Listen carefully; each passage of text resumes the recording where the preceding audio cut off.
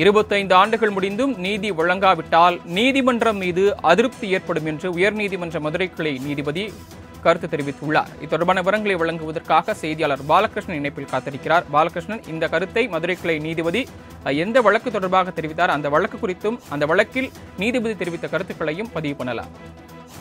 வணக்கம் சரவணன். இருபத்தைந்து ஆண்டுகள் முடிந்தும் நீதி வழங்காவிட்டால் நீதிமன்றம் மீது அதிருப்தி ஏற்படும் என உயர்நீதிமன்ற மதுரை கிளை கருத்து தெரிவித்துள்ளது. போலீஸ் காவலில் ஒருவர் உயிரிழந்த வழக்கில் 25 ஆண்டுகள் கழித்து விசாரணை நீதிமன்றத்தில் விசாரணைக்கு எடுத்துக் கொள்ளப்பட்டு அதில் நீதி வழங்காவிட்டால் நீதிமன்றம் மீது அதிருப்தி ஏற்படும் எனவும் உயர்நீதிமன்ற மதுரை கிளை தெரிவித்துள்ளது. தென்காசி மாவட்டம் கேவிநல்லூர் காவல் நிலையத்தில் தற்போது காவல் ஆய்வாளராக பணிபுரிந்து வருவர் எம் சோமசுந்தரம்.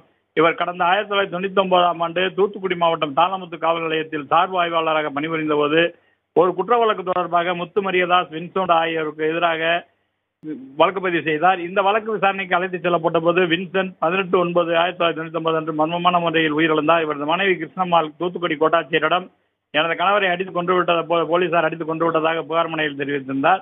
சோமசுந்தரம் உள்பட அந்த காவல் நிலையத்தில் பணிபுரிந்த அனைத்து போலீசாரும் உயிரிழப்புக்கு காரணம் என ஆர்டிஓ விசாரணையில் கோட்டாட்சியர் அதனை உறுதிப்படுத்தியிருந்தார். இது குற்றவியல் நீதிமன்றத்தில் மனு தாக்கல் இந்த வழக்கானது இருபத்தி ஐந்து ஆண்டு இருபத்தி ஐந்தாம் தேதி விசாரணைக்கு எடுத்துக் கொள்ளப்பட்டது. இந்த நிலையில் இந்த வழக்கு விசாரணை நீதிமன்றத்துக்கு வந்தபோது இதனை தூத்துக்குடி அருகே உள்ள வேறு மாவட்ட நீதிமன்றம் விசாரிக்க வேண்டும் எனவும் அதில் கூறியிருந்தார். இந்த வழக்கை விசாரித்த நீதிபதி புகழேந்தி தாளமுத்து காவல் நிலையத்தில் ஆயிரத்தி தொள்ளாயிரத்தி தொண்ணூத்தி ஆண்டு விசாரணை கழித்து செல்லப்பட்ட உயிரிழந்தார். இருபத்தி ஐந்து ஆண்டுகள் கழித்தும் இந்த விசாரணை நீதிமன்றத்தில் விசாரணைக்கு எடுத்துக் கொள்ளப்பட்டது.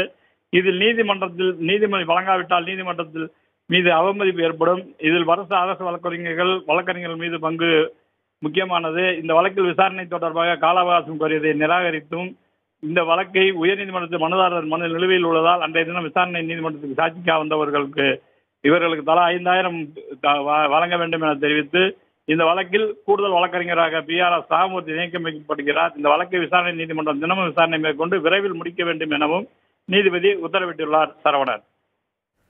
தாங்கள் வழங்கிய தகவல்களுக்கு நன்றி புகழேந்தி.